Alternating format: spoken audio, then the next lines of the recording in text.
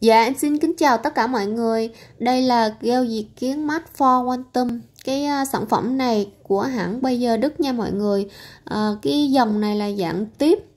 Uh, Khi mà mọi người sử dụng thì không cần phải pha chế gì hết.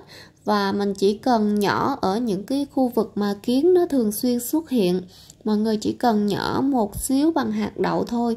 Kiến tự động bu vào ăn và có tác dụng lan truyền khi mà ăn mồi thì sẽ thu hút những con kiến ở trong tổ ra ăn mồi và mang mồi về tổ. Thì chỉ có cách như vậy thì mới lây lan cả tổ và mình mới diệt kiến được tận gốc thì à, sau đây mọi người à, cùng em theo dõi hết video này. À, bên em có đi làm dịch vụ diệt kiến tận nhà và có quay lại một đoạn video ngắn. À, xin mời mọi người cùng theo dõi để à, xem bên em test thử cái sản phẩm à, gel diệt kiến mát for quantum này nha.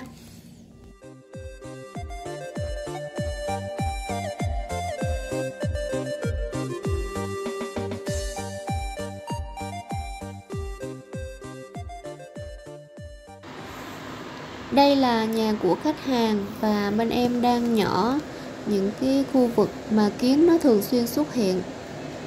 À, nó bu rất là nhiều. Đây là cái tủ nha mọi người. Và bây giờ là mọi người xem giúp em là cái giọt thuốc mà bên em nhỏ là kiến nó bu rất là nhiều. Chỉ cần nhỏ là tự động kiến nó bu vô nó ăn. Vì là đây là dạng gheo nhưng mà cái mồi nó rất là đặc biệt và thu hút kiến lắm mọi người à, mình sử dụng cái sản phẩm này rất là sạch sẽ khi mà kiến nó bu vô nó ăn và nó sẽ ăn sạch hết cái khu vực không có để lại vết ố cũng không có làm vấy bẩn cái khu vực mà mình diệt kiến nha mọi người. Sản phẩm này rất là hiệu quả một tiếp nhỏ như thế này nhưng mà mọi người dùng rất là lợi vì mình không cần phải à, dùng cái lượng thuốc nhiều á mọi người.